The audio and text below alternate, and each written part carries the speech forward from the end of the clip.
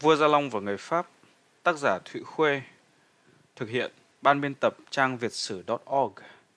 Chương 22 Jean-Baptiste Chenot Nguyễn Văn Thắng, sinh 1769, mất 1832. Phần 1 Chenot dưới thời Gia Long Chenot là người được giới nghiên cứu Pháp trong tập san Đô Thành Hiếu Cổ dành cho những bài nghiên cứu kỹ càng và đúng đắn.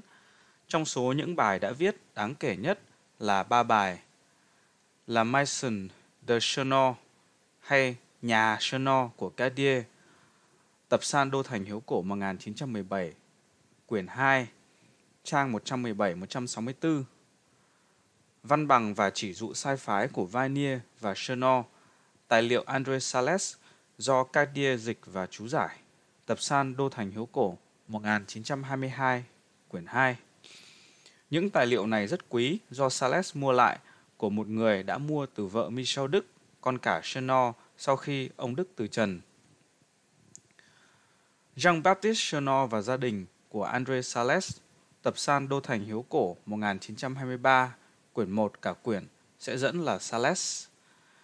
André Sales, thanh tra thuộc địa về hưu, đã sưu tầm tài liệu hộ tịch nhiều đời của các nhân vật chính trong số lính Pháp đến giúp Gia Long.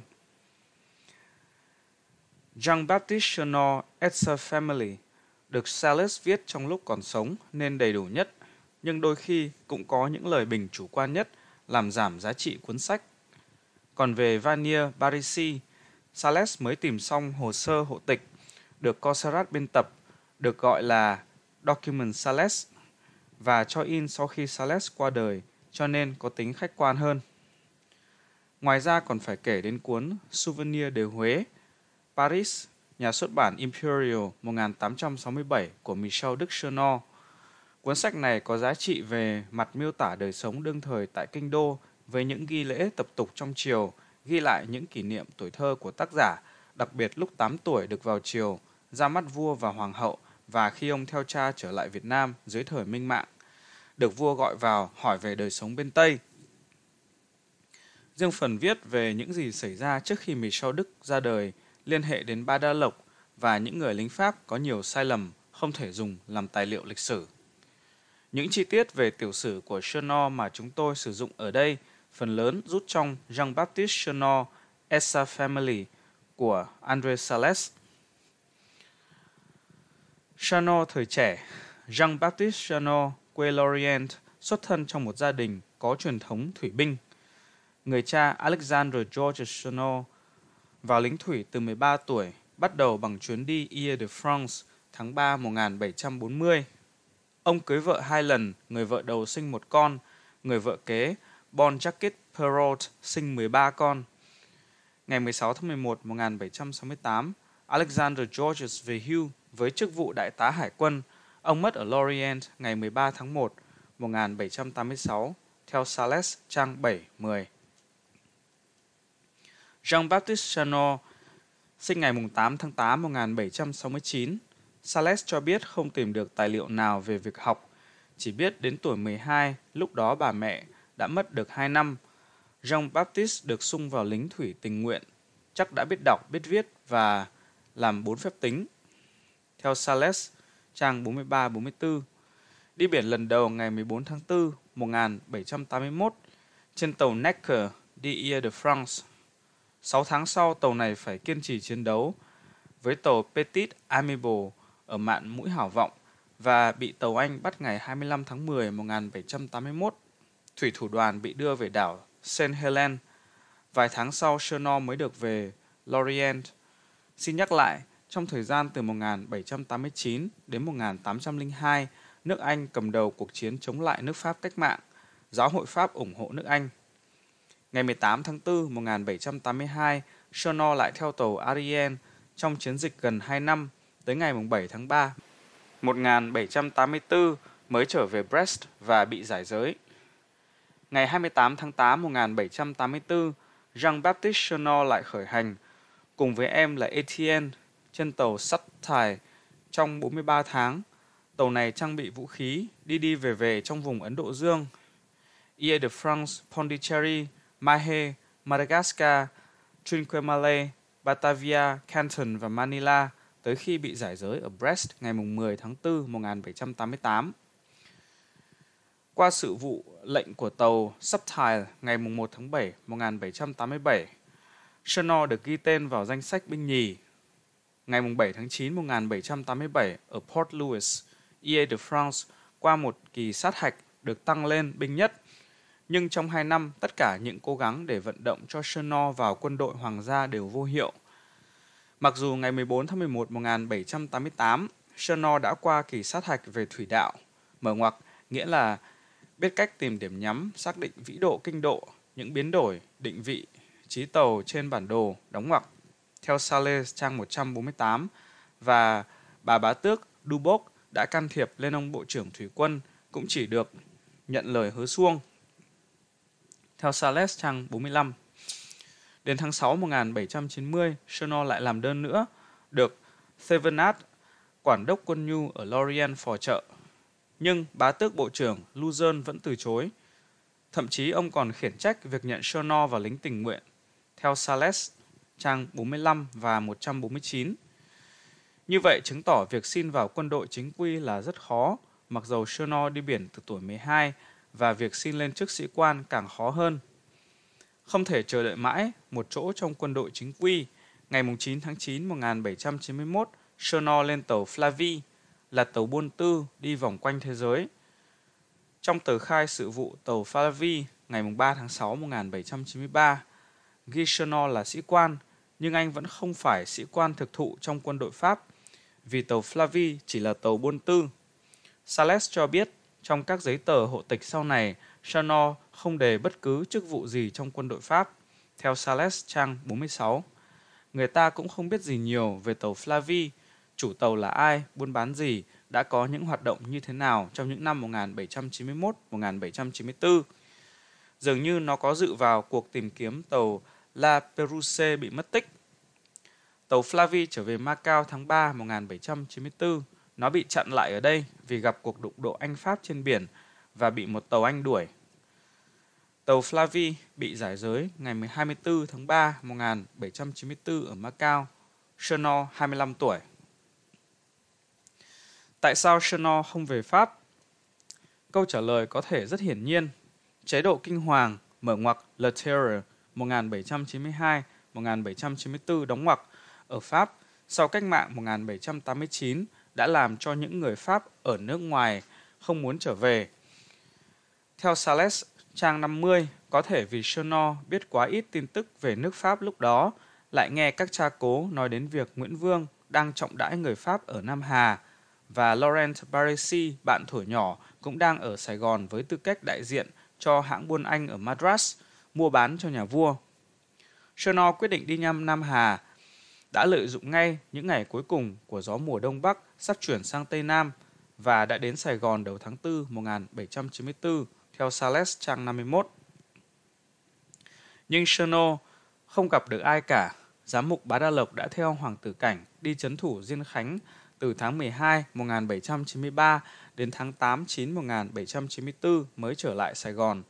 Còn Barisi đã nhận được chỉ dụ sai phái của vua ngày 17 tháng 12 1793 theo Louvre trang 545 đem hàng hóa theo gió mùa Đông Bắc đi Malacca và Pulo Pinang để để bán mua vũ khí cho vua. Chỉ có thể trở về theo gió mùa Tây Nam, tức là vào khoảng tháng 5 1794. Không biết Chenor làm gì trong thời gian từ tháng 4 1794 đến tháng 6 1795, chắc chắn Chenor đã giao thiệp với giới giáo sĩ, nhất là giám mục Bá Đa Lộc khi ông trở về Sài Gòn, vì thấy trong thư từ của họ anh được khen là người tốt. Tháng 6 1795, Chenor xuất hiện trên tàu của Olivier. Olivier đi mua mũ vũ khí ở Macau và chở anh em Dayot vừa trốn khỏi tù, mở ngoặc vì làm đám tàu Đồng Nai đóng ngoặc. Thư của ông Le Labousse gửi Le Tông Đan, quản thủ tu viện Macau ngày 22 tháng 6 1795 có câu Ông sẽ thấy Olivia tới Macau với Dayot đã trốn từ tàu của ông ấy khi ra hàng ở Vũng Tàu. Trên tàu của Olivia còn có Chenor cùng quê với tôi, tức Le Labousse. Tôi gửi gắm anh ta cho ông, anh ta là người rất tử tế. Tôi mong anh ta tìm thấy ở Macau cơ hội để về Pháp. sợ đi biển lâu những tính tốt của anh ta sẽ bị đắm chìm như bao nhiêu người khác. Theo các đia, tài liệu đã dẫn trang 35. Trong chuyến đi này, thế nào anh em Dayot chẳng kể chuyện bị các quan vu cáo và bị kết án oan ức, nhưng Chenor vẫn trở về Nam Hà cùng với Olivier sau đó và anh còn tiếp tục làm áp phe giữa Sài Gòn Macau trong vài chuyến nữa. Cuối 1796, đầu 1797, Chenor trở lại Sài Gòn và sau đó mới chính thức gia nhập quân đội Nguyễn Ánh, được chức cai đội. Nhưng văn bằng thì không tìm thấy, theo Sales trang 53. Lúc này Shono 28 tuổi. Shono phục vụ Gia Long tới năm 1819 thì xin về xứ thăm gia đình 3 năm.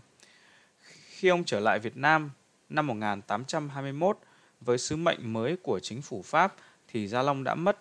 Ông ở lại Triều Minh Mạng 4 năm nữa rồi về Pháp hẳn. Ông mất tại Lorient ngày 31 tháng 1 1832 ở tuổi 63, theo Sales trang 102. Tình trạng gia đình Cherno từ khi lên tàu Flavi ngày 9 tháng 9 1791 không có tin tức gì của gia đình. Sau chiến tranh, quyết định ở lại Huế. Ngày 4 tháng 8 1802, mua căn nhà ở làng Dương Xuân. Theo bản đồ của Cartier, nhà này ở trên bờ kinh Phủ Cam, khoảng giữa đường Nam Giao, mở ngoặc nay là đường Điện Biên Phủ đóng ngoặc và chợ Phủ Cam mở ngoặc nay là chợ Bến Ngự đóng ngoặc. Theo Đức Chernor, nhà Vanier và De Focant ở Bao Vinh. Năm 33 tuổi, Chernor cưới cô Hồ Thị Huệ, con ông Hồ Văn Hưng, một gia đình có đạo ở phường Thợ Đức, cạnh Phủ Cam, do giám mục La Bát làm lễ ngày 10 tháng 8 1802. Người chị em gái là Hồ Thị Nhơn sẽ lấy De Focant có ba con, theo Sales trang 103, 104.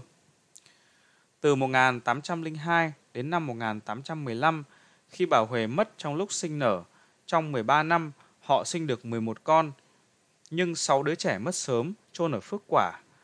Con cả sinh ngày 25 tháng 6 1803 là Michel Nguyễn Văn Đức, sinh 1803, mất 1894, sống lâu nhất tới 91 tuổi. Làm công chức trong Bộ Tài chính Pháp, có vợ không con. Ông viết cuốn Souvenir de Huế. In ở Paris, nhà xuất bản Imperial 1867. Từ 1873, dạy tiếng Việt ở trường sinh ngữ Đông Phương.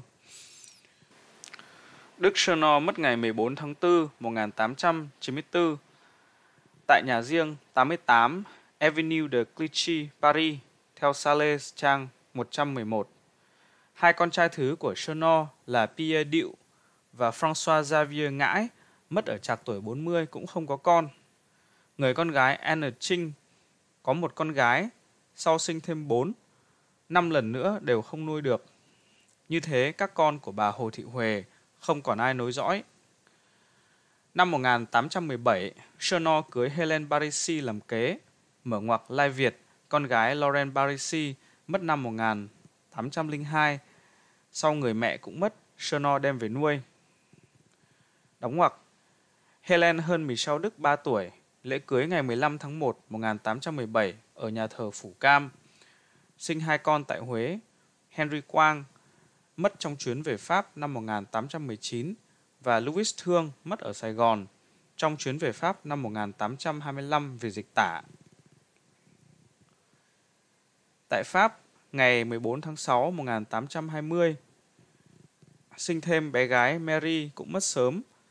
Trong thời gian ở Việt Nam lần thứ hai, từ 1821 đến 1825, Helen sinh thêm Jung, con trai duy nhất có con nối dõi dòng Chernor.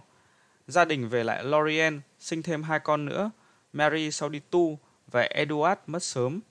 Helen từ trần tại Lorient ngày 17 tháng 9, 1853, theo Sales, trang 118-119.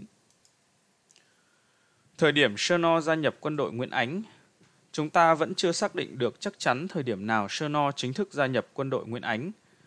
Lá thư Chernor viết ngày 10 tháng 6 1798 tại Sài Gòn cho quản thủ tu viện Macau. Trong có câu Tình trạng của nhà vua vẫn thế, năm ngoái ông đã để lỡ dịp có thể chinh phục dễ dàng nước ông. Ông đã bất ngờ đến đất địch, họ đang chia rẽ và không phòng bị gì. Vậy mà ông không biết lợi dụng hoàn cảnh. Cứ theo chiến dịch cuối cùng này thì con nghĩ nhà vua chẳng bao giờ làm chủ được đất của ông. Theo các tia, tài liệu đã dẫn, trang 37-38. Ở đây Sernor muốn nói đến chiến dịch đánh Quy Nhơn lần thứ hai, bắt đầu từ tháng 5 1797 đến tháng 9 10 1797 và phê bình Nguyễn Vương qua chiến dịch đó. Xin nhắc lại, Nguyễn Vương đến Quy Nhơn, thấy phòng thủ kỹ không thể đánh được, bèn kéo quân ra Quảng Nam thắng được vài trận, nhưng thiếu lương và thuyền lương tiếp tế gặp bão. Quân sĩ bệnh tật nhiều nên phải rút quân về. Lúc đó Lê Trung giữ vùng Quy Nhơn, Quảng Nam có Trần Quang Diệu, đều là kiện tướng của Tây Sơn. Những lời trên đây của Sơ chứng tỏ hoặc ông không dự chiến dịch này hoặc ông dự mà không biết rõ tình hình. Nhiều người dựa vào lời này để xác định Sơ đã dự chiến dịch đánh Quy Nhơn 1797. Chúng tôi không chắc lắm, chiến dịch này chỉ có Olivier là đích thực tham dự và lập công ở Quảng Nam, còn Vanier không biết lúc ấy ở trong đội ngũ nào. Riêng Sernor có thể đã tham dự hoặc không, vì lời lẽ trong thư không xác định được gì cả. Sau đó Nguyễn Ánh nghỉ 2 năm để chấn chỉnh lực lượng. Tóm lại không thể biết đích xác thời điểm Sernor gia nhập quân đội Nguyễn Ánh. Tháng 4 1799 trong chiến dịch Quy Nhơn lần thứ hai, lúc này Olivier đã mất. Mở ngoặc ngày 23 tháng 3 1799 đóng ngoặc. Chắc chắn Vanier và Sernor có tham dự nhưng chưa được làm thuyền trưởng nên thực lục không ghi tên họ trong các cuộc hành quân. Phải đến tháng 23 1800 mới có ba người Pháp được quản tàu đại hiệu. Thực lục việc tháng 23 1800 ghi Sai Khâm Sai thuộc nội cai đội Nguyễn Văn Chấn, tức Vanier, quản tàu đại hiệu Phượng Phi. Nguyễn Văn Thắng, tức Cherno, quản tàu đại hiệu Long Phi. Lê Văn Lăng, tức De Foucant, quản tàu đại hiệu Bằng Phi theo trung quân sai phái đánh giặc. Mở ngoặc bọn chấn đều là người Phú Lang Sa đóng ngoặc. Theo thực lục quyển 1 trang 407. Đây là lần đầu tiên tên của Vanier, Chernor và Defocant được ghi trên danh sách hành quân của thực lục. Đúng vào thời gian này, Chernor bị bệnh, được gửi đi Malacca điều trị. Đây là giấy phép. Chernor khâm sai cai đội, thuộc nội thắng tài hầu, đã dự nhiều trận đánh mệt mỏi hy sinh vì nước, bị mắc chứng bệnh hiểm nghèo. Công đồng cho phép đi Malacca trên chiếc thuyền chở hàng với khâm sai cai đội Laurent Barisi. Phải trao lá thư của quan tham vụ ngoại giao Nam Hà gửi quan toàn quyền Malacca, thỉnh cầu quan toàn quyền vì lòng nhân từ tìm thấy thuốc cho. Ngay sau khi khỏi bệnh phải trở về để phò vua và làm công tác thường lệ, công đồng báo trước để rõ ý vua công đồng chi ấn, mở ngoặc tức là dấu ấn của hội đồng các đại thần xét việc công, định chế công đồng có từ thời Quang Trung, đóng ngoặc. Ngày 24 tuần trăng thứ hai, Cảnh Hưng năm 61, tức 19 tháng 3 năm 1800. Mở ngoặc Dịch theo bản Louvet trang 558-559. Cartier có bản dịch khác trong Les Diplomes et Orders de Service de Vanier et de Chenor, tập san Đô Thành Hiếu Cổ, năm 1922, quyển 2, trang 140. Theo giấy phép này của công đồng thì Chenor đã dự nhiều trận đánh. Như thế, chắc chắn Chenor đã tham chiến từ 1799 khi Nguyễn Ánh đánh Quy Nhơn lần thứ ba. Đầu năm 1800, Chenor đi Malacca chữa bệnh và dưỡng bệnh theo lá thư Barisi viết ngày 28 tháng 12 năm 1800 tại Sài Gòn, trong có câu Chúng tôi đang ngập đầu trong chiến tranh, mở ngoặc thư gửi đại tá Despinas ở Pondicherry theo Sales trang 55 đóng ngoặc, thì ta có thể chắc chắn Cherno đã về lại Sài Gòn cuối năm 1800 cùng với Barisi và sẽ dự các chiến dịch kể từ năm 1801 trở đi với tư cách thuyền trưởng tàu Long Phi. Thực lục việc tháng 3 1801 ghi sai Nguyễn Văn Trương điều bát thủy quân tiến ra Quảng Ngãi, Quảng Nam đánh giặc. Các chúa tàu hiệu Long Phi, Phượng Phi, Bằng Phi là bọn Nguyễn Văn Chấn, Nguyễn Văn Thắng, Lê Văn Lăng đều thuộc quyền. Theo thực lục quyển 1 trang 432. Ba người Pháp này sẽ dự các trận Thị Nại, Quảng Nam và Phú Xuân như chúng ta đã biết. Ở trận Thị Nại họ có nhiệm vụ hộ tống vua. nhưng không điều khiển các thuyền Long Phi, Phượng Phi và Bằng Phi. Vì vua đi Gale, mở ngoặc xem chương 20 đóng ngoặc. Đến trận Phú Xuân, họ ở dưới quyền điều khiển của tướng Phạm Văn Nhơn, mở ngoặc xem chương 20 đóng ngoặc. Sau khi vào Huế trong dịp thăng thưởng quân sĩ, Vanier, Chenot và Defocant đều được lên cai cơ. Nhiệm vụ chuyên trở của các tàu Long Phi, Phượng Phi và Bằng Phi trong trận thị nại 1801, ba tàu Long Phi, Phượng Phi và Bằng Phi đóng ở vịnh Cù Mông vì Nguyễn Vương dùng thuyền chiến Gale. Sau đó, Chenot cho biết vua thường dùng các tàu đại hiệu này để chở quân nhu tiếp tế. Điều này phù hợp với chính sử và các chỉ dụ sai phái. Trước hết, Long Phi, Phượng Phi và Bằng Phi không phải lúc nào cũng do Chenot, Vanier và Defocan điều khiển. Liệt truyện ghi, năm Tân Dậu 1801, Nguyễn Khắc Thiệu cùng với lưu thủ Vĩnh Trấn là Nguyễn Văn Thiệu sang Xiêm báo tin thắng trận. Mở ngoặc thị nại đóng ngoặc. Khi về coi hai chiếc thuyền lớn bọc đồng là Bằng Phi, Phượng Phi chở lương gạo ở Quảng Nam đến quân thứ Quy Nhơn. Theo liệt truyện quyển 2 Nguyễn Khắc Thiệu, trang 344. Thực lục việc tháng 12 1801 ghi sai chúa tàu Phượng Phi là Nguyễn Văn Trấn, tức Vanier, và chúa tàu Bằng Phi là Lê Văn Lăng, tức De Focans, chở 15.000 phương gạo từ Quảng Nam đến quân thứ thị nại. Theo thực lục quyển 1 trang 474, hai thông tin này có thể chỉ cùng một nhiệm vụ của Bằng Phi và Phượng Phi mà cũng có thể là hai nhiệm vụ khác nhau trong năm 1801.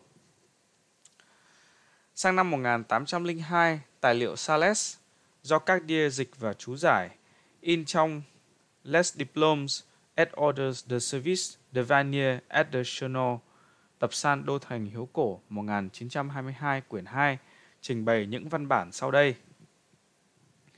Thư sai phái ngày 1 tháng 3 1802 sai Sherno tải gạo từ Sài Gòn ra Huế, trang 143. Lệnh cho Sherno ngày 19 tháng 4 1802 phải sửa soạn tàu chờ để cùng Liêm Chánh Hầu Tôn Thất Liêm hộ tống từ cung từ gia định về Huế. Trang 145-146 Liệt truyện Trần Đại Luật ghi năm nhâm tuất tức 1802 lấy lại được Bình Định. Luật cùng bọn Hoàng Viết Toản đem binh thuyền về gia định đón từ giá về kinh. Theo liệt truyện quyển 2, Trần Đại Luật trang 295 và thực lục việc tháng 7 1802 ghi Hoàng Văn Toản, Trịnh Ngọc Trí và Tôn Thất Liêm rước từ cung về kinh. Theo thực lục trang 499.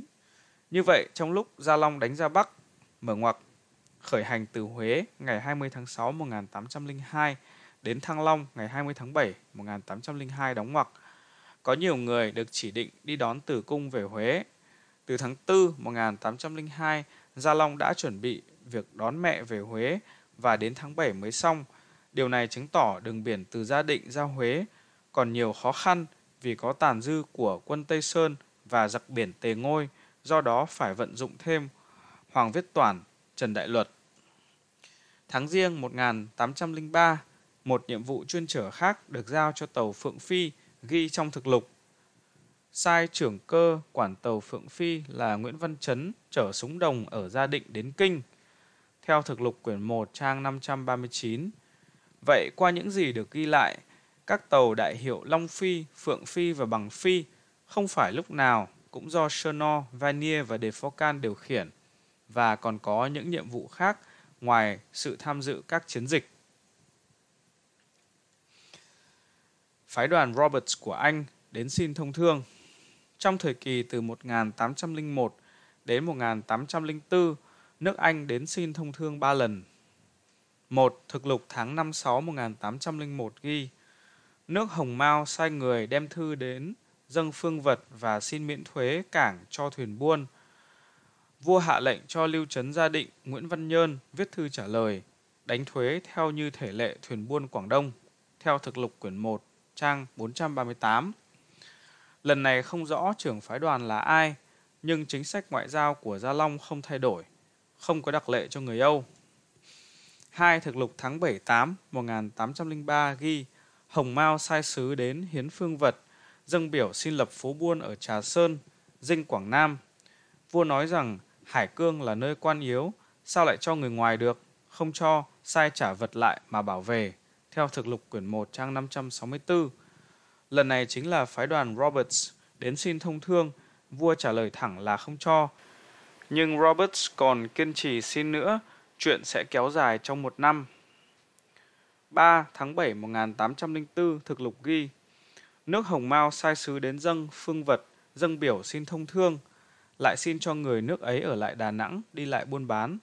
Vua nói tiên vương kinh dinh Việt nước, không để người hạ lẫn với người di, đó thực là cái ý đề phòng từ lúc việc còn nhỏ.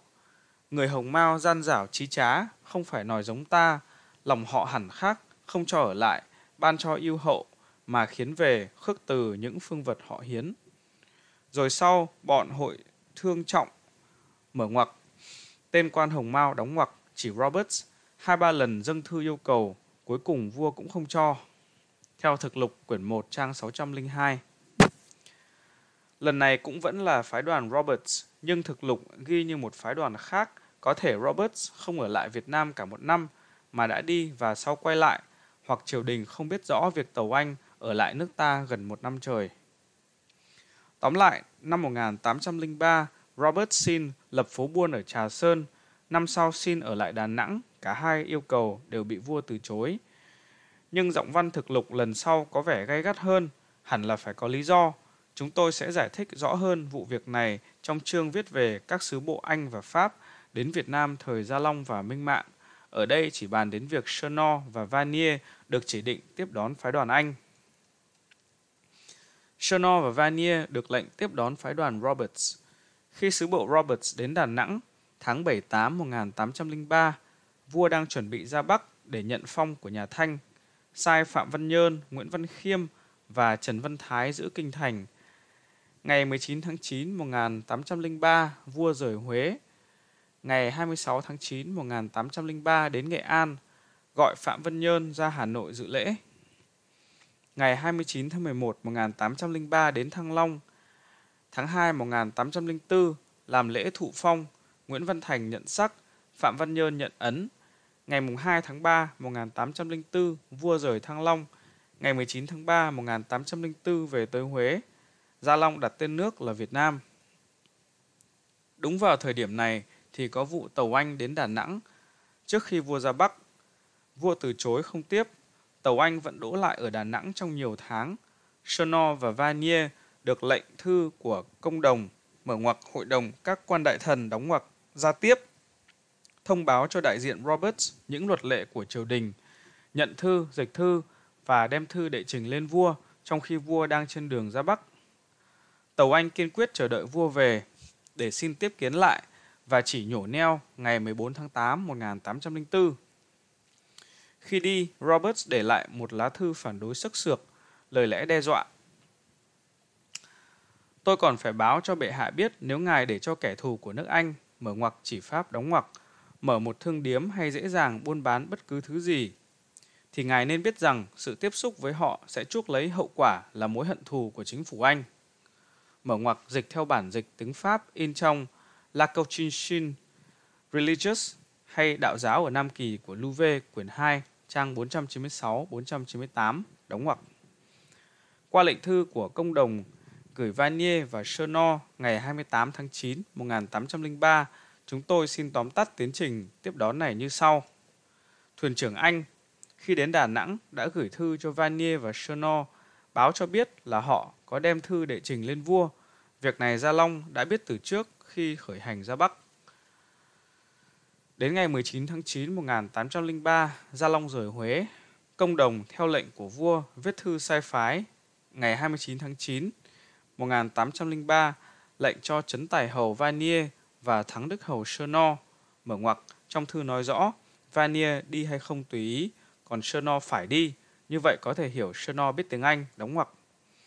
Cùng với Thạnh Đức Hầu chưa biết là ai ra Đà Nẵng lên tàu và nói với đại diện Anh như thế này.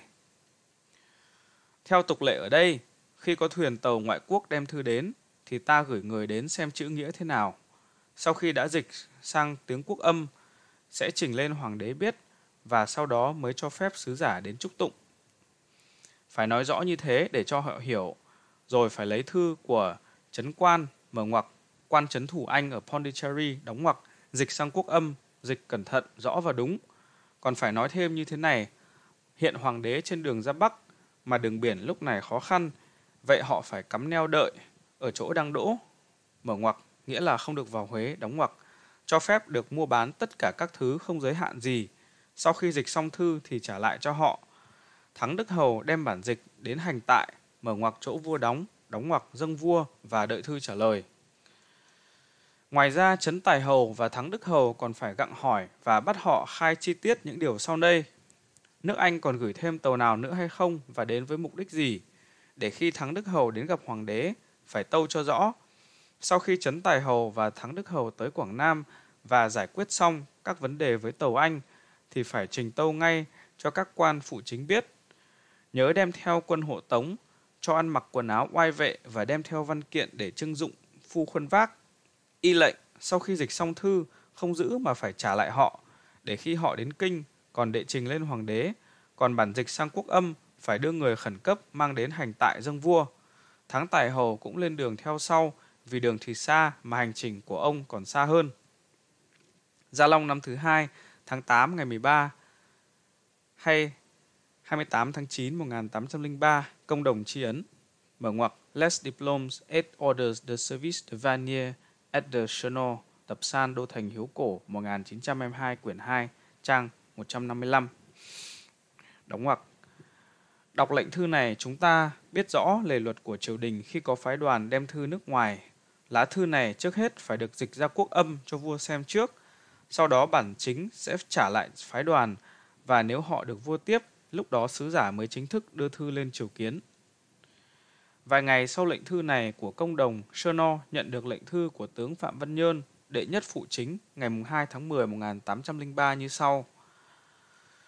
Khâm sai, trưởng thần võ quân kiêm giám thần sách quân quận công thị trung đô thống chế, tức Phạm Văn Nhơn thông báo. Việc theo lệnh hoàng đế chỉ thị cho khâm sai thuộc nội trưởng cơ, chính quản Long Phi Tàu, Thắng Đức Hầu Cherno, kính quẩn tuân theo chỉ thị của hoàng đế vì ân huệ đặc biệt gửi 15 người lấy trong quân dưới quyền cai quản của Cherno và một cai đội và 40 người hộ tống Cherno đi Đà Nẵng để liên lạc với những người trên tàu Anh, dịch và viết lại lá thư do nước này gửi đến, mang lá thư dịch dâng lên hoàng đế. Gia Long năm thứ nhì, mùng 2 tháng 10 1803, thần sách túc trực đô thống chế chi trương. Theo Les Diplomes et Orders de Service de Vanier et de Chanot Tập san Đô Thành Hiếu Cổ 1922 quyển 2 trang 160. Tóm lại, qua vụ này chúng ta biết được tiến trình tiếp đón một tàu ngoại quốc xin tiếp kiến theo quy luật của triều đình. Cherno và Vanier được sai đi đón tàu Anh, nhưng Pháp và Anh là hai nước kiều địch. Tất cả mọi khó khăn xảy ra từ đó. Phía Pháp muốn tìm mọi cách ngăn ngừa Anh giao thương với Việt Nam – và phía Anh cũng muốn dùng mọi cách ngăn Pháp vào Việt Nam. Vì những khó khăn đó nên tàu Anh kiên trì đợi vua từ Thăng Long về để sứ giả xin gặp trực tiếp.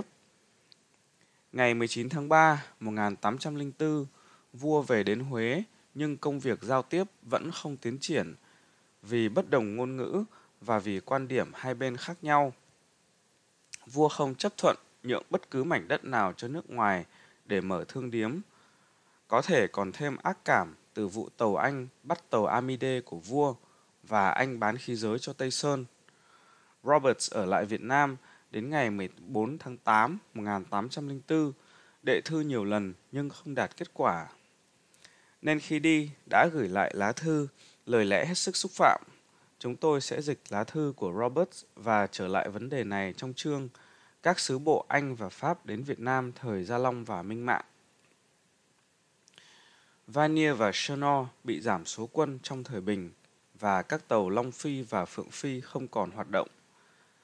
Theo tài liệu của Sales do các đia biên soạn, in trong Les Diplomes et Orders de Service de Vanier et de Chenor, tập san Đô Thành Hiếu Cổ 1922, quyển 2, thì văn bằng trưởng cơ của Chenor ngày 19 tháng 12, 1802, trang 150-151 cùng một mẫu với văn bằng trưởng cơ của Vanier ngày 6 tháng 12 1802, trang 147-148.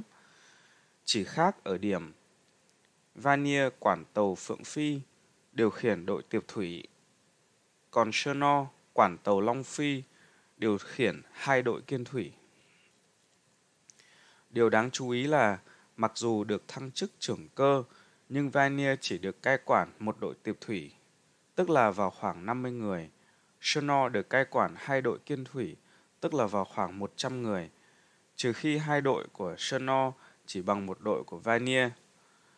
Quân số này không phù hợp với địa vị trưởng cơ, trên nguyên tắc coi khoảng 5-600 người. Ngay trong chiến tranh, khi Cherno và Vanier còn làm thuyền trưởng, các tàu đại hiệu đều chở 300 quân, tức là họ đã từng có 300 quân trong tay. Vậy có thể hiểu Vanier và Cherno sau chiến tranh chỉ nhận chức trưởng cơ danh dự, vua không để cho người ngoại quốc cầm quân. Sự giảm thiểu này còn tiếp tục nữa, chiếu theo lệnh Cherno nhận được ngày 15 tháng 1 1803. Công đồng ra lệnh cho trưởng cơ tránh quản Long Phi đồng tàu phải thi hành chỉ giữ lại 50 quan quân và phi tiêu trong số cựu quân để chăm sóc và bảo vệ tàu. Nếu cựu quân không đủ thì thêm quân mới cho đủ số 50, còn lại bao nhiêu quân mới cho về nghỉ. Tới ngày lĩnh lương chỉ trình diện 50 người để lĩnh lương, y lệnh. Gia Long năm thứ nhất tháng 12 ngày 22, tức 15 tháng 1 1803, công đồng tri ấn.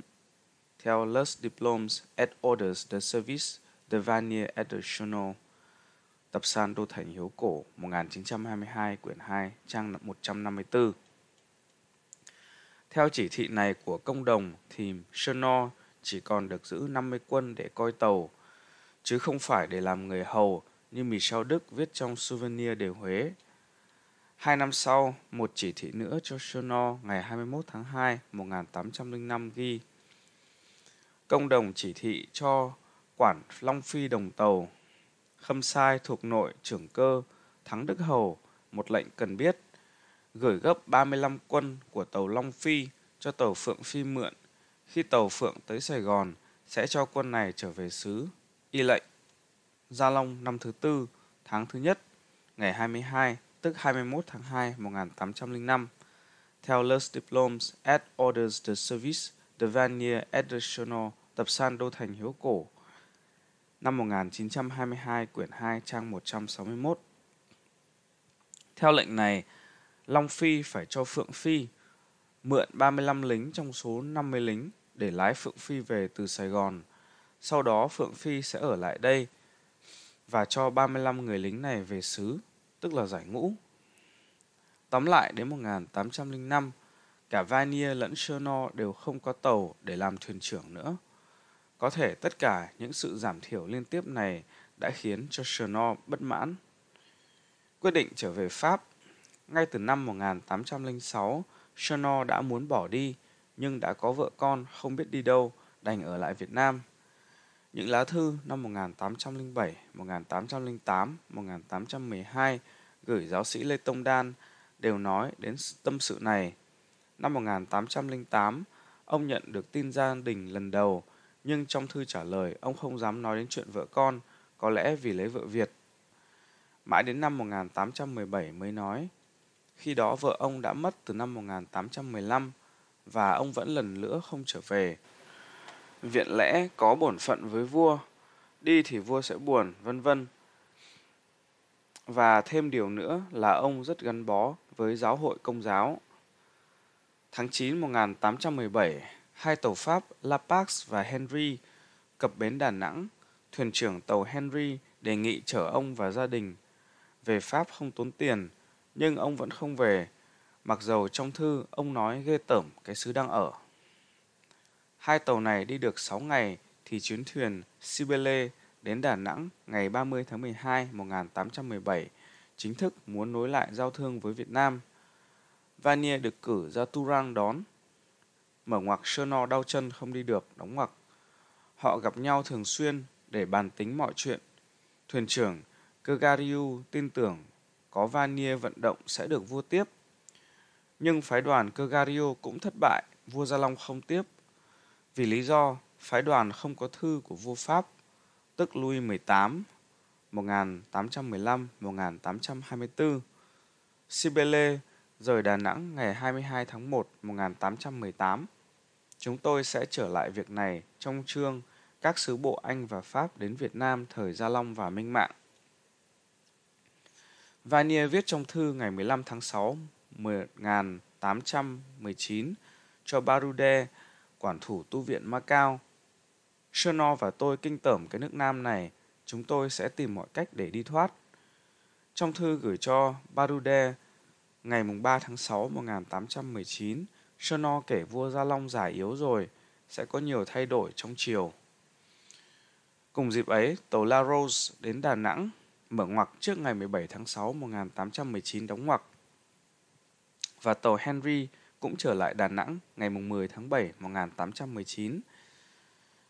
Một trong hai tàu này đã mang bản sao lá thư ngày 17 tháng 9 1817 của quận công de Richelieu, Thủ tướng Pháp viết cho Chenot, yêu cầu ông làm phúc trình về tình hình nước Nam, cùng với công văn ngày 26 tháng 8 1818 trao tặng Chenot và Vanier ngũ đẳng bắc đầu bội tinh. Theo Michel Đức thì chính lệnh làm phúc trình cho chính phủ Pháp về tình hình Việt Nam đã thúc đẩy Chenot quyết định về Pháp. Ray, thuyền trưởng tàu Henry, vẫn giữ đề nghị chở cả gia đình ông về Pháp không tốn tiền. Những yếu tố này kèm thêm vấn đề thừa hưởng gia tài của cha đã giúp ông quyết định trở về Pháp. Vườn nhà của ông ở Dương Xuân bán cho công chúa Bảo Thuận, con gái thứ năm của vua Gia Long, nhưng không rõ bán nhà cho ai. Theo Cartier, La Mansion de Chenot, tập san Đô Thành Hiếu Cổ 1917 quyển 2, trang 128-129 và ngày 21 tháng 10 1819, giám mục Viren Labat làm giấy chứng thực khai sinh cho các con ông. Chenot xin phép vua Gia Long về nghỉ 3 năm ở Pháp được vua chấp thuận. Ngày 13 tháng 11 1819, Chenot cùng gia đình lên tàu Henry, gồm 5 con với bà Hồ Thị Huệ là Michel Đức, Joseph Nhàn, Pierre Điệu, François Xavier Ngãi, An Trinh cùng với hai con với vợ sau Helen Barisi là Louis Thương và Henry Quang mở ngoặc mất trên chuyến đi đóng ngoặc. Ngày 14 tháng 4 1820, tàu đến Bordeaux. Chenot hy vọng được thừa hưởng gia tài của cha, mở ngoặc, giàu vì làm đại tá hải quân cho công ty Pháp Ấn, đóng ngoặc. Nhưng gia tài này phải chia cho 6 con và qua các biến động ở Pháp không còn lại gì.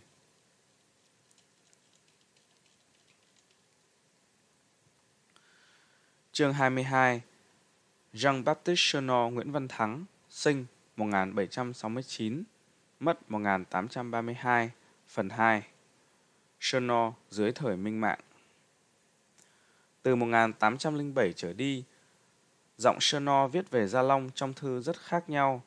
Đối với các giáo sĩ quản thủ tu viện Ma Cao, Chenot mô tả Gia Long là vị vua tàn ác sách nhiễu dân chúng, triều đình sắp đổ.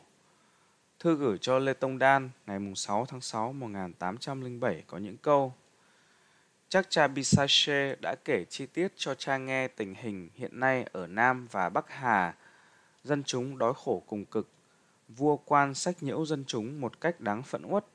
Công lý là tiền bạc, Người giàu tha hồ bóc lột người nghèo mà không bị trừng trị vì họ có tiền trong tay. Theo các đia tài liệu đã dẫn trang 59. Thư ngày 12 tháng 5 1808 gửi Lê Tông Đan một năm sau có những câu Về tôn giáo, con nghĩ dưới thời vua này thì các giáo sĩ và giáo dân còn được tạm yên, mặc dù cả vua lẫn quan đều không ưa đạo. Bọn đàn bà thì tất cả đều ghét đạo, Họ còn làm hại đạo hơn các quan. Con nghĩ triều đình này không được lâu đâu, đã có nhiều nơi nổi loạn rồi, nhất là ở Bắc. Nhà vua đè nén dân chúng bằng khổ dịch và lao công, không cho ăn, không trả lương, mà lại còn bắt phải trả đủ thứ thuế, không tha cho ai hết. các quan hà sách và cướp bóc tha hồ. Triều đình này đang khủng hoảng, sẽ đổ, theo các đia tài liệu đã dẫn trang 60. Nhưng khi viết thư cho gia đình, giọng Sno lại khác hẳn. Sau nhiều năm không liên lạc khi nhận được thư của người anh cả, Alexandre Jung báo tin về việc chia gia tài ở Pháp và cần giấy ủy quyền. Sno trong thư viết ủy quyền cho anh ngày 27 tháng 3 1809 kể về Gia Long như sau.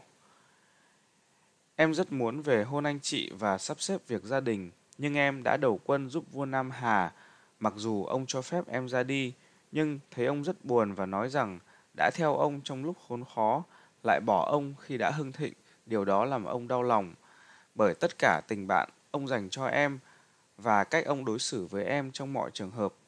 Em nghĩ rằng bỏ ông về Pháp bây giờ là vô ơn. Khi em đến nước này giúp ông, ông mới chỉ sở hữu một vùng đất nhỏ, tàn tạ, quân ngụy chiếm hết cả nước và đã giết hết tổ tiên của ông.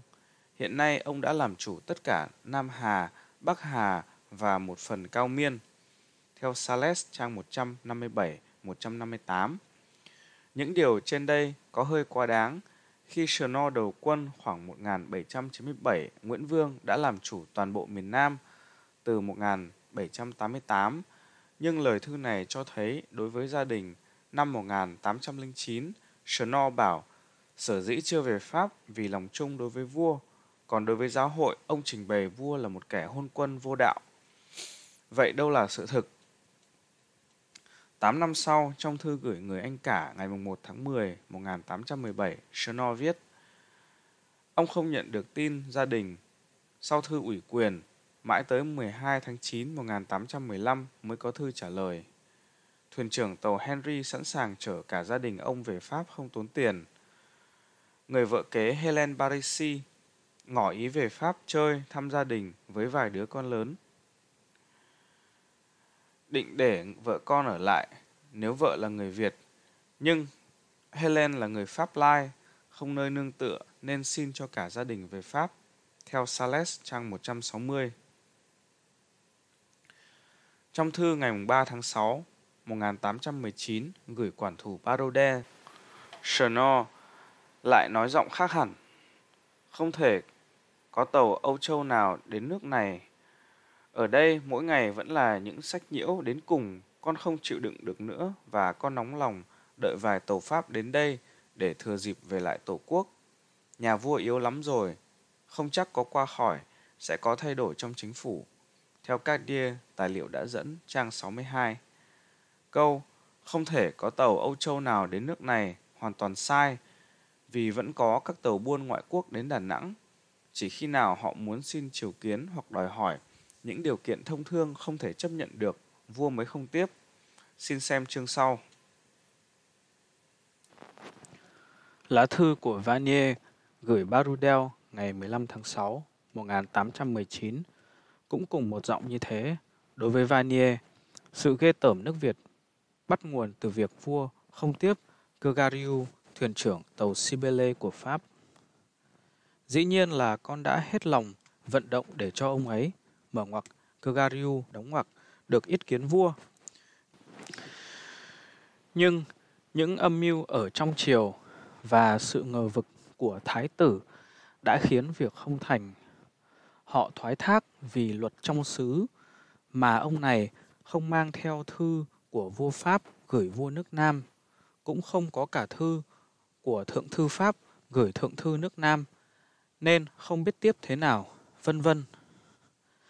Một ông vua đã nhờ vào người Âu, nhất là người Pháp, mới lấy lại được xứ sở mà xử sự như vậy thực là vô ơn. Con thú thật với cha rằng, từ lúc ấy, ông Sherno và con ghê tởm cái nước Nam và chúng con sẽ tìm cách đi thoát, trở về tổ quốc thân yêu của ta. Hơn nữa, Thái tử đã bắt đầu nói đến việc đàn áp đạo thánh của ta. Sau đó, ông còn truyền đến tai con cho biết rằng chỉ vì nể hai chúng con mà chưa thi hành đó thôi, nhưng sẽ làm, phải làm. Nếu chúng con có công với triều đình thì sẽ thưởng và cho phép ra đi. Điều này ở nước Nam có nghĩa là đuổi khéo. Sau những lời này thưa cha, nếu nhà vua qua đời, chúng con rất khó ở lại Nam Hà, không phải là về mặt chính trị chúng con có gì để than phiền thái tử, bởi vì ông đối xử với chúng con luôn luôn rất tử tế và tỏ ý nể trọng trước mặt tất cả các quan. Theo tài liệu của các đia đã dẫn trang 63, lá thư này cho thấy Cherno và Vanier bị phân chia giữa hai lựa chọn. Ở lại Việt Nam, hưởng lộc của một viên quan võ hàng tam phẩm, mở ngoặc trưởng cơ, đóng ngoặc, hay trở về Pháp với đàn con đông, chưa biết làm nghề gì sinh sống. Họ đã chọn ở lại Việt Nam. Khi tàu Sibele đến Đà Nẵng, họ tưởng có thể vận động vua tiếp thuyền trưởng Kogariu là một việc hữu ích cho tổ quốc của họ, nhưng không thành. Đó là một trong những lý do khiến họ bắt đầu chán ghét vua Gia Long. Còn Sales thì đưa ra lập luận. Sherno thấy triều đình Gia Long thối nát, đã can đảm là một thứ đại sư, đứng ra can gián vua nên bị đình thần ghen ghét. Lập luận này khó đứng vững, bởi vì nếu Sales đọc kỹ những chỉ thị sai phái Cherno và Vanier do chính ông siêu tầm, thì sẽ thấy vị trí của hai người này trong triều. Họ chỉ là quan võ hàng tam phẩm, có danh mà không có quyền, không có quân đội, không có tàu để cai quản, không phải là đại thần có quyền sinh sát trong triều, có thể can vua, mà bị ganh ghét. Những đại sư trong triều lúc đó phải là Đặng Đức Siêu, Trịnh Hoài Đức, chưa kể Minh Mạng đã thay cha cầm quyền. Việc Kogariu nhờ Cherno và Vanier vận động xin vào yết kiến vua mà không được, lại càng chứng tỏ họ không có quyền hành gì cả. Vua Gia Long vẫn giữ vững chính sách ngoại giao từ 1790, không cho bất cứ nước Âu Châu nào, kể cả nước Pháp, được có đặc quyền hơn các nước ở Á Châu trong việc buôn bán và không cấp cho họ bất cứ mảnh đất nào để xây thương điếm vì ông đã quá rõ tình hình Ấn Độ và Trung Quốc. Cherno về Pháp lần thứ nhất. Không xin được ý kiến vua, Cugariu và tàu Sibele rời Đà Nẵng ngày 22 tháng 1 1818. Dù bực bội về chuyện vua không tiếp sứ giả Cugariu tuy vậy gần 2 năm sau vụ tàu Sibele rời Việt Nam, Chernor mới quyết định về Pháp. Ngày 15 tháng 6 1819, Vanier viết thư cho Barudel có câu Chernor và con kinh tởm cái nước Nam này, chúng con sẽ tìm mọi cách để đi thoát. Nhưng ông cũng vẫn ở lại, và khi Chernor đi được một năm, trong thư viết cho Barudel ngày 13 tháng 7 1820, Vanier kể tại sao chưa về cùng. Ông Cherno đã đi năm ngoái, được vua cho phép về Pháp nghỉ 2 năm Ông ta về với cả gia đình. Con chắc ông ấy không trở lại nữa. Chỉ còn một mình con trong số những người Pháp giúp nhà vua lấy lại ngai vàng. Chưa kể nếu con có thì giờ đòi được hết tiền nợ ở Nam Hà và Bắc Hà thì con cũng đã đi với gia đình rồi. Nhưng thôi để năm sau vậy vì con đã lấy 80.000 franc tiền lời trong vụ mua vũ khí được chở trên một con tàu 800 tonneau Tàu này sẽ khởi hành từ Bordeaux tháng riêng sắp tới và sẽ đến đây vào khoảng tháng 5 nếu không có trở ngại vì chiến tranh với Anh. Hoàng đế nước Nam đã từ trần vì bệnh ngày 2 tháng 2 vừa qua. Ngày 27 tháng 5 đã chôn với đại lễ. May mà cái chết của ông không gây cuộc loạn nào. Nếu người nối nghiệp cứ cư xử như thế này thì sẽ được quần thần tin tưởng kể cả những người không theo ông khi vua còn sống. Từ khi lên ngôi, ông chưa nói gì, chưa làm gì về đạo của ta. Còn về phía con, riêng con, con chẳng có gì phải than phiền ông cả. Ông vẫn luôn luôn niềm nở và nói chuyện thân mật với con. Theo các đia, tài liệu đã dẫn trang 63-64. Như vậy, lý do khiến Vanier chưa về là vì sự buôn bán vũ khí đang giang dở, không thể bỏ đi ngay được. Ở lại Việt Nam, không những được hưởng lộc quan võ hàng tam phẩm, mà không phải làm gì trừ thỉnh thoảng đón khách ngoại quốc. Thời gian còn lại làm việc buôn bán vũ khí để làm giàu, còn gì lợi hơn? Cherno về Pháp có thể vì hai lý do. Thứ nhất, nhận phần gia tài của cha và thứ hai vì ông đã thấy một con đường công danh tại Pháp. Xin giải thích. Chính quyền Louis XVIII từ 1814 tới 1824 muốn trở lại Viễn Đông, vùng đã bị bỏ quên trong nhiều thập niên vì nội tình chính trị ở Pháp, mới nghĩ đến hai người Pháp đang làm quan dưới triều Gia Long, cho rằng họ có thể làm trung gian cho Pháp trở lại Việt Nam.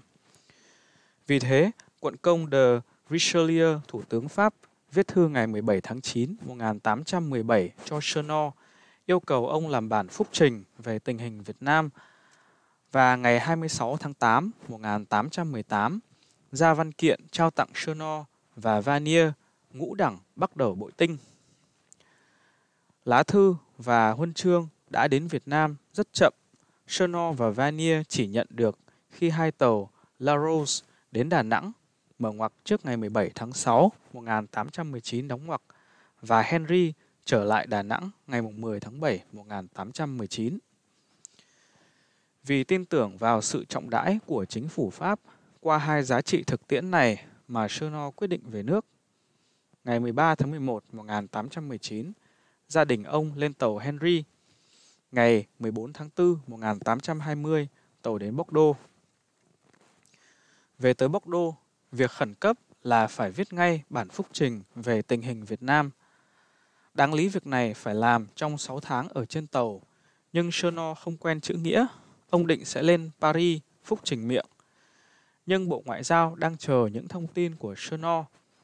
Vì thế, ông tỉnh trưởng Gironde phải phái hai người thư ký thông minh đến nghe Cherno đọc rồi viết lại tại chỗ với sự cộng tác của ông tham vấn trong tòa tỉnh trưởng để hệ thống hóa bản phúc trình. Theo Sales trang 255-256. Bản phúc trình của Chernow Bản phúc trình được Sales siêu tầm, chú giải, in dưới tựa đề Hồi ức của Chernow về nước Nam. Tập san Đô Thành Hiếu Cổ 1923 quyển 2, trang 257-283 nói về nhiều vấn đề. Địa lý, chính trị ba miền, dân số và khí hậu, chính thể, hệ thống quan lại hành tránh, xã tổng huyện, tổ chức quân đội, tình hình tiền tệ, thuế khóa, pháp lý, dân cư, phong tục tôn giáo, chăn nuôi, gia súc, thương mại, sản phẩm xuất cảng và nhập cảng, chiều kích các tàu vào cửa Sài Gòn và Đà Nẵng và giá thuế tương ứng ở mỗi cửa biển. Những sản phẩm cấm xuất cảng, tình trạng kỹ nghệ. Sales cho biết ông tìm thấy bản phúc trình này trong văn khố ngoại giao mở ngoặc Asia tài liệu về hồi ức tập 21 trang 228 254 đóng ngoặc là một bản sao không có chữ ký, không đề ngày tháng và tên tác giả. Mở ngoặc hồi ức của Chernot về nước Nam, tập san Đô Thành Hiếu Cổ 1923 quyển 2, trang 253 đóng ngoặc. Qua nội dung, ta thấy đây không thể hoàn toàn là tác phẩm của Chernot, mà chỉ là một bản văn ghi một số điều Chernot biết và kể lại, thí dụ như về binh bị, về sản phẩm, xuất nhập cảng, vân vân. Phần còn lại dường như là sao chép những thống kê đã thấy ở các tài liệu khác, mở ngoặc, ví dụ sách của Montion, Barrow, vân vân đóng ngoặc. Duy trong phần nhận xét tổng quát, mở ngoặc tập san Đô Thành Hiếu Cổ 1923 quyển 2 trang 278, 283 đóng ngoặc, Chernot đưa ra hai lời khuyên đáng chú ý. Việc buôn bán với Việt Nam cũng có những trở ngại. Tuy giá thành mua ở đây rất rẻ, nhưng điều kiện chuyên trở quá xa. Người dân ở đây không quen dùng sản phẩm của người Âu quá đắt và không tiện dụng đối với họ. Ví dụ họ rất thích gương, nhưng một cái gương tốt quá đắt, chỉ có người giàu mới mua nổi, vân vân chính phủ Pháp nên chiếu cố đến Việt Nam vì nhiều mối lợi. Khi đánh nhau với Anh, có chỗ dựa hậu cần và là cửa ngõ vào nước tàu. Nếu Pháp không chú ý đến việc này, thì những nước kiều địch như Anh, Hòa Lan, Tây Ban Nha sẽ làm. Theo tập san Đô Thành Hiếu Cổ 1923 quyển 2 trang 280. Chernot nhận chức mới và trở lại Việt Nam.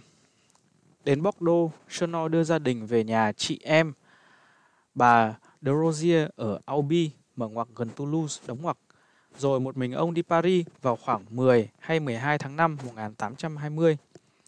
Khi ông đến Paris cuối tháng 5 và ở tới mùng 5 tháng 8 1820 được yết kiến vua Louis XVIII nhận huân chương Saint Louis. Sau vinh dự ấy, Cherno không có cách gì sinh sống ở Pháp. Di sản của cha chỉ là chiếc lâu đài đổ nát ở nhà quê. Vì thế, ông đã nhận ngay nhiệm vụ quay trở lại nước Nam. Cherno ở lại nước Nam với một bản chỉ thị định rõ các chức vụ cao cấp của ông. Đại lý nước Pháp, mở ngoặc Agent de France, đóng ngoặc, tại triều đình Huế. Lãnh sự Pháp, mở ngoặc Council de France, đóng ngoặc, đối với kiều dân Pháp ở Việt Nam. Và khâm sai, mở ngoặc Commissioner du Roi, đóng ngoặc, để thay vua Pháp ký các thỏa ước với Việt Nam. Lĩnh lương 12.000 francs một năm. Sẽ có người cháu Eugene Chenot, 22 tuổi, làm thư ký riêng cho ông. Mở ngoặc, Michel Đức, con trai ông, không đủ khả năng tiếng Pháp để làm việc này, đóng ngoặc. Lương 1.500 franc một năm. Nghị định được vua Louis XVIII ký ngày 12 tháng 10, 1820. Chenot đi cùng vợ con, mở ngoặc, thêm bé gái Mary mới sanh, đóng ngoặc, trừ Pierre Diệu và François Xavier Ngãi được học bổng ở lại Pháp. Tất cả lên tàu La Rose rời Bordeaux ngày 1 tháng 12 1820 cùng các giáo sĩ Olivier Guélain, Tabe và Gagelin. Chenot đến Huế ngày 17 tháng 5 1821. Vua Gia Long mất đã hơn một năm. Mở ngoặc ngày 3 tháng 2 1820 vì bệnh thủy thủng. Theo thư La viết ngày 10 tháng 6 1820, Lerny quyển 3 trang 436 đóng ngoặc. Ông có vẻ xúc động về cái chết của vua trong thư viết cho anh. Ngày 19 tháng 10 1821 có câu Tôi thương tiếc ông, tức Gia Long, thương tiếc ông rất lâu vì đó là một người chính trực. Ngày 16 tháng 7 1821, Chernow mua ngôi nhà ở chợ Được, sau bán lại cho Minh Đức Hầu, chồng công chúa Bảo Thuận. Mở ngoặc, người đã mua vườn nhà cũ ở Dương Xuân của ông năm 1819, đóng ngoặc. Ngày 25 tháng 10, 1824, theo tài liệu của các D và Coserat, bài Nhà của Cherno, lãnh sự Pháp ở Huế, tập san đô thành hiếu cổ 1922, tập 1, trang 9, trang 1 và trang 23, trước khi gia đình ông ra Đà Nẵng để về Pháp vĩnh viễn năm 1824. Ngay hôm sau khi đến Huế, ngày 18 tháng 5 1821, Sono đã đệ trình lên vua Minh Mạng thư của vua Louis XVIII, ủy nhiệm ông trong chức vụ đại lý, tức agent của Pháp, cùng nhiều quà cáp gồm một đồng hồ mạ vàng, hai đế bạch lạp mạ vàng, hai bình đồng mạ vàng, 16 bức khắc những trận đánh lớn, một khẩu súng piston, hai khẩu súng lục, một cái gương lớn, theo Tabule quyển 1 chú thích 2, trang 310. Thư vua Louis XVIII gửi vua Minh Mạng. Sau đây là thư Louis XVIII gửi Minh Mạng viết ngày 12 tháng 10 1820 giới thiệu Chenor là đại lý hay agent của nhà vua. Quốc vương tối cao, tối thượng, vạn năng đại độ rất thân ái. Quả nhân cảm thấy hết sức thỏa mãn khi biết tin ngài đã đón tiếp tử tế những người Pháp đến đây buôn bán. Lối xử sự của ngài đối với họ chứng tỏ ngài vẫn giữ những kỷ niệm cũ về tình bạn giữa vua Pháp và vua Nam Hà. Về phía quả nhân cũng vậy, trong chiều hướng đó, quả nhân ủy nhiệm bên ngài với tư cách đại lý, tức agent, thân, Chenor, sĩ quan thủy quân của quả nhân và là quan Nam Hà. Lý do duy nhất đã hướng quả nhân trong sự lựa chọn này vì y đã được ngài biết đến và đã biết cách dung hòa sự quý mến và tin cẩn của ngài. Quả nhân không nghĩ là ngài sẽ nghe hết những thỉnh nguyện và những giải bày mà y đưa ra trong trường hợp y đại diện cho thần dân của quả nhân để xin ngài một đặc ân liên quan đến việc thương mại hoặc bất cứ việc gì khác. Và quả nhân tin rằng chắc chắn họ sẽ luôn luôn được hưởng sự công bằng và nhân hậu của ngài. quả nhân vội vàng nắm lấy cơ hội này để tỏ tình bạn chân thành với ngài. Viết tại điện Tuileries ngày 21 tháng 10 1820, bạn thân mến của ngài Louis mở ngoặc dịch theo bản Louvet quyển 2 trang 502 503 đóng ngoặc. Theo các đia, thư này được Vanier và Chenot dịch sang chữ nôm còn giữ trong hồi ký của Nguyễn Đức Xuyên. Theo các đia, Les Français au service des Salons, tập San Đô Thành Hiếu Cổ 1920, quyển 1, trang 144. Sales bình phẩm rằng vua Minh Mạng không biết cư xử, ngay hôm đầu đã sỉ nhục Chenot bằng cách mượn một người Việt không có trình độ đến dịch thư của vua Pháp, chứng tỏ vua bị ảnh hưởng của bọn triều thần nham hiểm. Theo Sales, bài Gia đình Chenot tập san Đô Thành Hiếu Cổ 1923 quyển 1 trang 86. Tabule viết một câu hỗn xược vì không có thông ngôn người Nam Hà, lá thư của Louis XVIII được Chenot và Vanier dịch. Minh Mạng lấy cái thú quỷ quyệt viết thư trả lời vua Pháp bằng tiếng Việt, tức chữ nôm. Theo Tabule quyển 1, chú thích 3, trang 310. Qua những điều trên đây, chúng ta thấy cách xử sự của vua Minh Mạng. Biết rõ khả năng học vấn của Vanier và Chenot, nên ông phải dùng một dịch giả chuyên môn, người Việt. Việc Minh Mạng viết thư trả lời bằng quốc âm nếu có thật là một sự khai phóng. Vua không dùng chữ Hán là chữ chính thức mà dùng chữ Việt. Chúng ta đã biết một sự lạ, thời ấy bệnh đậu mùa mỗi năm giết hại nhiều người. Minh Mạng sai Despio đi Macau mua thuốc chủng đậu cho dân theo thư Vanier ngày 13 tháng 7 1820 và việc chủng đậu đã thành công theo thư Labat ngày 13 tháng 6 1821. Sự vua viết thư trả lời vua Pháp bằng chữ nôm là sự lạ thứ nhì của Minh Mạng. Điều đáng chú ý ở đây là Louis XVIII chỉ ủy thác Chenot trước Minh Mạng như một đại lý, tức agent của nước Pháp mà thôi. Nhưng trong nội bộ Pháp, Chenot còn có hai chức nữa là lãnh sự và khâm sai. Những điều này được quy định trong bản chỉ thị riêng ra tháng 10 năm 1820. Chỉ thị cho Chenot. Sau đây là câu đầu bản chỉ thị. Ông Chenot được chứng nhận làm đại lý của nước Pháp bên cạnh quốc vương nước Nam. Bằng thư ủy quyền của vua tức Louis XVIII gửi quốc vương nước này tức vua Gia Long. Ngoài ra, ông ta còn được phong chức và quyền lãnh sự đối với kiều dân Pháp ở nước Nam. Sau cùng, ông ta nhận tước vị và đặc quyền khâm sai của vua để ký kết một thỏa ước thương mại giữa nước Nam và nước Pháp. Bản chỉ thị này dùng để hướng dẫn cách xử lý của ông, Chenot dưới những quan hệ khác nhau. Một, chức đại lý của nước Pháp là chức duy nhất mà Chenot phải dùng đối với chính phủ nước Nam. Hai, chức lãnh sự dùng để làm những thủ tục hành tránh và pháp lý cho kiều dân Pháp. Ba, bản thỏa ước mà ông Chenot điều đình với tư cách là khâm sai của vua. Tóm lại, theo chỉ thị, đối với triều đình Huế, Chenot là đại lý, tức agent. Đối với kiểu dân Pháp tại Việt Nam, Chenot là lãnh sự, tức council, và Chenot là khâm sai, tức commissaire du roi, để thay vua Pháp ký các hiệp ước với Việt Nam. Trong ba chức này chỉ có chức agent là chính thức được Louis XVIII giới thiệu với Minh Mạng qua ủy nhiệm thư và chỉ thị cũng yêu cầu Chenot chỉ được xưng một chức ấy ra với vua Minh Mạng, tức là gián tiếp bảo phải giấu hai chức lãnh sự và khâm sai đi. Vậy chính phủ Việt Nam không biết đến các chức lãnh sự và khâm sai mà Pháp đơn phương cấp cho Chenot. Đó là một mánh lới của chính phủ Pháp vì biết rằng nếu Chenot nói ra thì sẽ bị Minh Mạng gạt ngay và điều đó cũng giải thích những khó khăn của Chenot sau này. Ngoài những điều quy định quyền hạn nhiệm vụ của ba chức đại lý lãnh sự và khâm sai, bản chỉ thị còn ghi những khoản bắt buộc Chenot phải làm.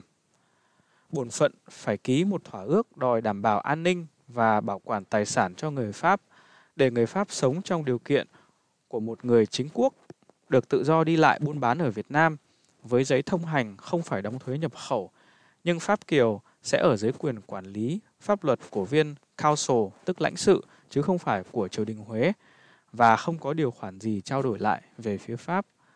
Ngoài ra còn có một đoạn nữa cũng rất đáng chú ý.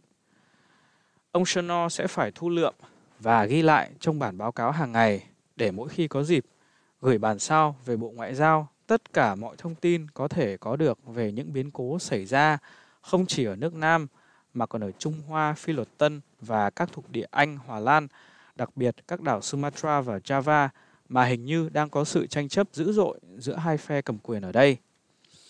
Ông Chennault phải chỉ ra và chuyển về bộ những báo cáo đặc biệt, những phần khác nhau của thống kê nước Nam về luật pháp, cai trị, kỹ nghệ, nghệ thuật, phong tục, lực lượng quân sự trên bộ cũng như trên biển, vân vân. Theo chỉ dẫn cho Chennault, lãnh sự tại Huế, trang 257-264, in lại trong Tabule quyển 1, trang 306-307. Tóm lại, chức vụ duy nhất của Cherno được chính phủ Pháp giao phó bên cạnh minh mạng là agent của nước Pháp. Chữ agent này có thể dịch là đại lý hay đại diện, nhưng còn có một ẩn nghĩa là gián điệp.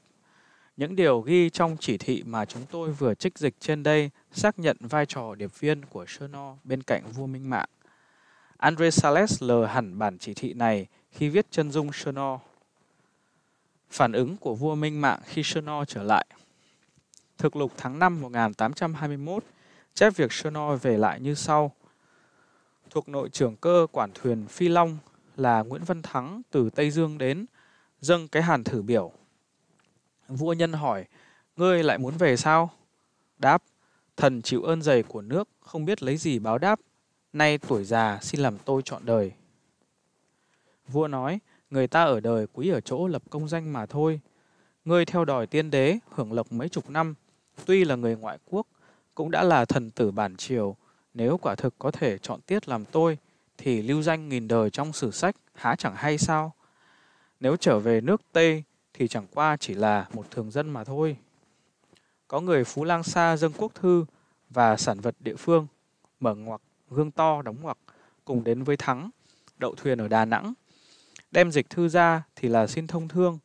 Vua giao đình thần bàn rồi hạ lệnh cho ti thương bạc đưa thư trả lời nhận cho và biếu nhiều phẩm vật, mở ngoặc 100 cân da voi, 30 cân da dê, 10 tấm da hổ, 100 tấm da trâu, 500 tấm da hiêu, 200 tấm sa nam, 200 tấm the nam, 100 tấm lụa cao bộ, đường phèn, đường phổi, mỗi thứ 1.000 cân, 10.000 cân đường cát, hai cây ngà voi, hai cỗ sừng tê, đóng ngoặc, giao cho người ấy mang về nước. Theo đệ nhị quyển, quyển 7. Qua những lời trên đây của thực lục, ta thấy vua Minh Mạng không quan tâm đến việc Sơn Chenor ở Pháp về. Những lời trao đổi của nhà vua với Chenor có tính cách thân tình vua tôi, và trong câu trả lời Chenor cũng rất kính cẩn. Thần chịu ơn dày của nước, không biết lấy gì báo đáp, nay tuổi già xin làm tôi chọn đời. Chenor không nhắc đến cái chức lãnh sự khâm sai của mình đã đành, mà dường như Ông cũng không dám nói đến cả chức đại lý của mình nữa, bởi vì đoạn sau có một câu rất đáng chú ý. Có người Phú Lang Sa dâng quốc thư cùng đến với Thắng, tức Sơn No, đậu thuyền ở Đà Nẵng. Như vậy rõ ràng thực lục không biết Sơn No là đại lý của vua Pháp, hoặc biết qua thư của Pháp Hoàng, nhưng cho là không đáng kể cho nên mới ghi như vậy. Ta có thể đoán chắc rằng, mặc dù đã nhận chức đại lý của vua Pháp, Sơn No vẫn không dám sử dụng chức mới của mình trước minh mạng – lại càng không dám điều đình thương lượng đòi hỏi ký kết hiệp ước gì cả, như chính phủ Pháp mong muốn. Vì Chenor biết trước là không thể yêu cầu những điều như thế đối với minh mạng. Sự thất bại của Chenor Để đánh đổ lập luận của người Anh cho rằng Gia Long đã chăn chối cho con phải đề phòng đừng để mất một mảnh đất nào cho Pháp và Minh Mạng đã làm trái lời cha khi xử tệ với Chenor. Andre Sales đã dành nhiều trang theo Sales, trang 83-87 để chứng minh mối thiện cảm của Gia Long với Pháp, dặn con phải trung thành với Pháp qua những lời Vanier và Chenor kể lại. Chernow trong bản báo cáo ngày 19 tháng 10 1821 gửi Bộ Ngoại giao kể lại rằng ông, tức Minh Mạng, đã rơi lệ khi nhìn thấy tôi. Tôi nghĩ tình cảm đó xuất phát từ lời khuyên của cha ông. Rồi Chernow mô tả cảnh Gia Long khuyên con, chăn chối cho con về việc phải đối xử tốt với ông và nước Pháp. Sales còn kể thêm những chuyện khác rút từ thư Chernow gửi cho các giáo sĩ như việc Gia Long dặn Lê Văn Duyệt. Nếu con ông làm gì sai trái thì phải phản đối ngay, vân vân. Tóm lại, những điều được người ta đưa vào miệng Gia Long và Lê Văn Duyệt thì nhiều lắm, nhưng thường không có cơ sở. Khi lên ngôi, Minh Mạng đã 29 tuổi, dày kinh nghiệm nội trị và ngoại giao, tự quyết đoán mọi việc, chắc không cần phải ai dạy bảo. Còn Chernor khi viết thư cho các giáo sĩ nói xấu Gia Long và Minh Mạng thì ông không ngần ngại điều gì, đó cũng là một khía cạnh của con người ông. Điều Gia Long chính thức dặn dò Minh Mạng được ghi lại trong thực lục, chỉ là đấy là cơ nghiệp gian nan của trẫm, nay giao cho con, con nên cẩn thận giữ gìn. Nay việc lớn của thiên hạ đã định rồi, ta cũng sắp chết, không nói gì, chỉ có một việc là ngày sau phải cẩn thận, chớ nên gây hấn ngoài biên. Theo thực lục quyển 1, trang 1001. Trở lại việc tìm hiểu sự thất bại của Chernor trong khi thi hành các chức vụ mới, Sales giải thích rằng sự khó khăn của Chernor là do lỗi ở viên quan ti thương bạc, không biết phân biệt các chức vụ khác nhau của Chernor và lại tham lam nghĩ rằng Chernor vừa làm lãnh sự, vừa làm quan của triều đình Huế thì ông ta sẽ mất nguồn lợi đến từ kiều dân Pháp và Âu Châu. Vì thế nên tìm hết cách đạp đổ. Theo Sales trang 85-86.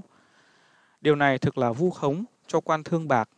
Chính phủ Pháp đã dặn Chernor giấu các chức lãnh sự và khâm sai, không nói với minh mạng, thì làm sao quan thương bạc lại biết mà ganh tị đạp đổ.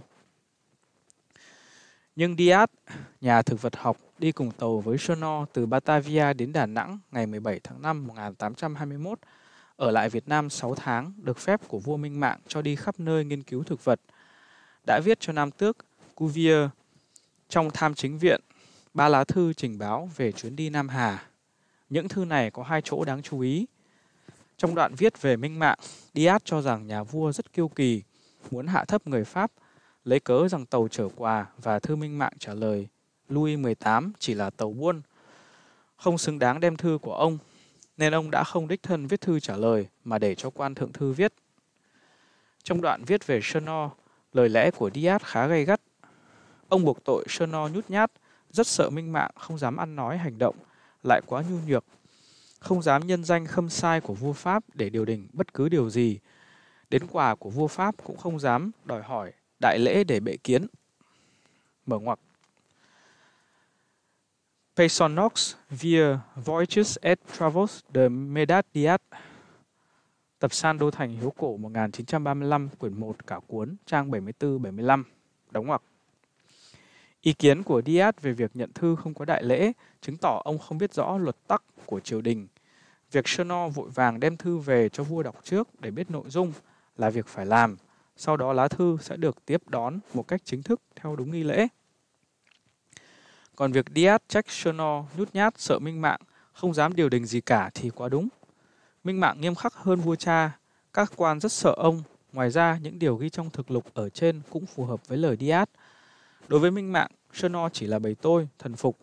Diaz trách Chernor không nhân danh trước khâm sai vì Diaz không đọc bản chỉ thị đã cấm Chernor không được khoe trước khâm sai thì Chernor lấy tư cách gì mà điều đình.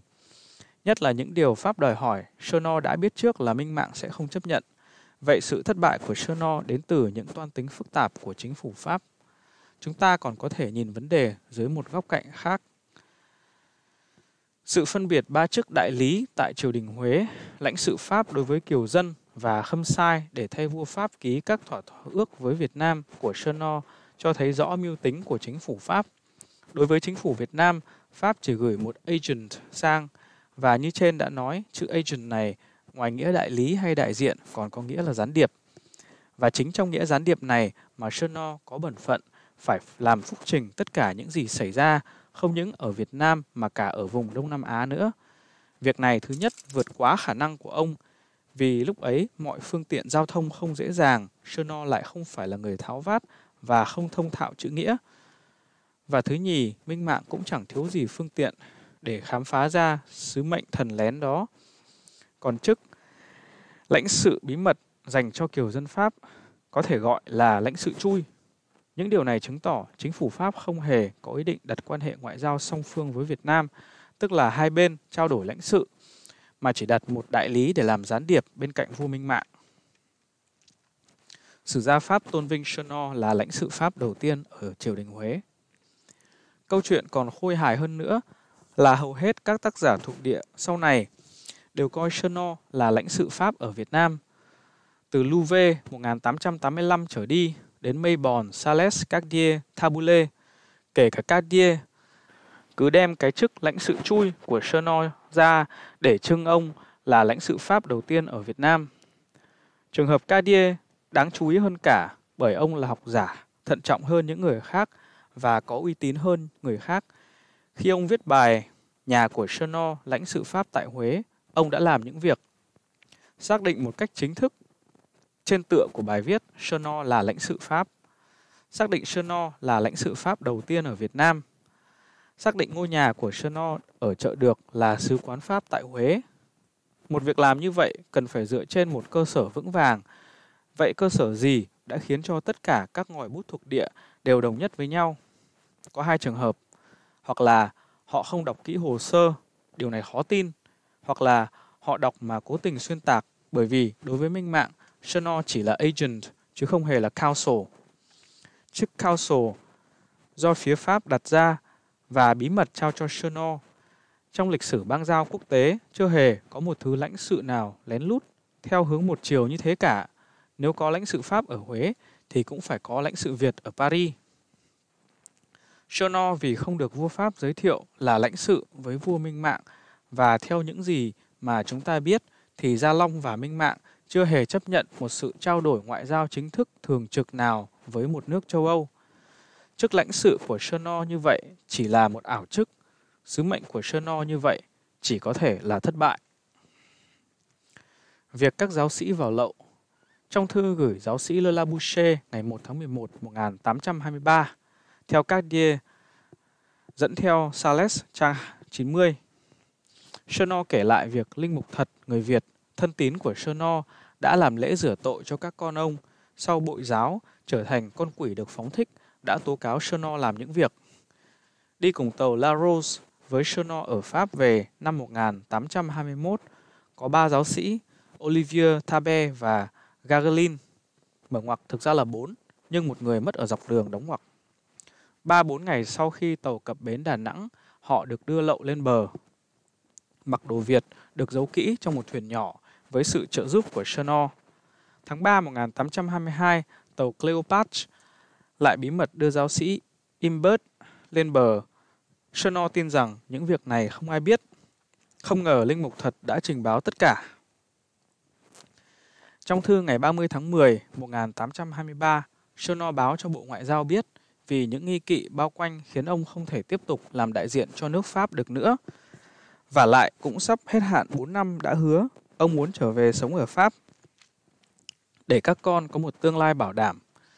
Trong thư viết ngày 1 tháng 11 1823 cho La Bisache, Chenor nói thêm, tôi hy vọng không phải ở thêm một năm nữa ở cái xứ thổ tả này. Không có cách nào chịu được, tôi muốn phát khùng.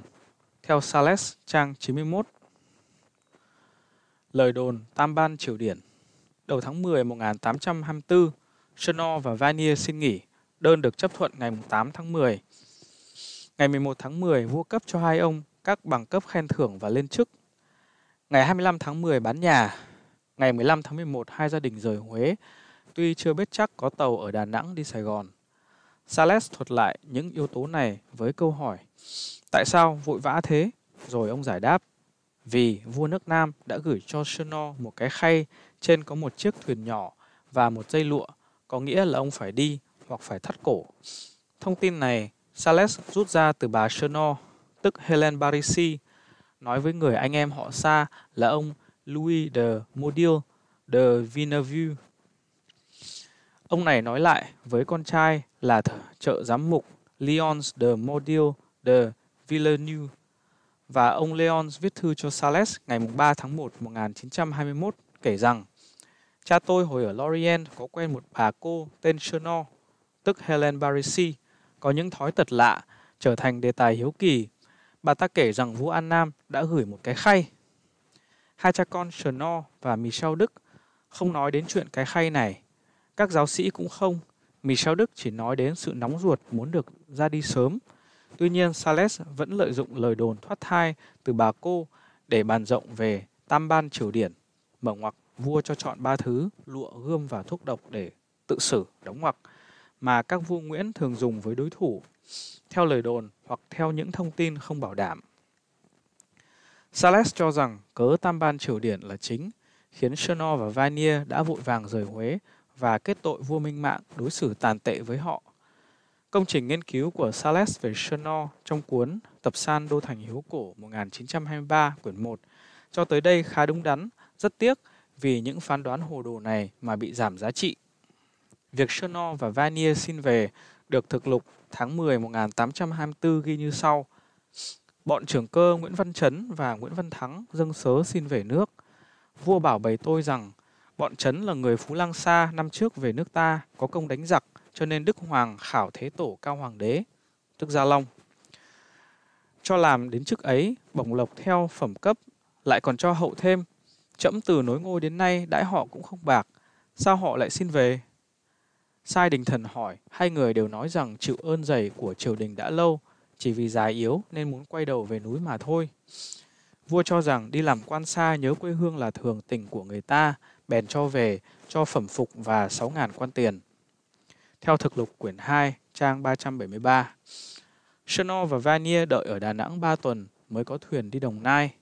Từ 17 tháng 11 1824 đến 11 tháng 12 1824. Đến Sài Gòn, ngày 24 tháng 12 1824, hai ông đã đi trước, không biết có hai tàu chiến Thetis và Esperance do Bougainville làm tư lệnh sẽ đến Vịnh Đà Nẵng ngày 12 tháng 1 1825 và tàu Courrier de la Pax sẽ đến Đà Nẵng ngày 18 tháng 1 1825. Chenor bị ốm nặng từ ngày 7 tháng 1 1825 và trong tháng 2, hai con trai của ông Joseph Nhàn và Louis Thương bị chết vì bệnh dịch tả.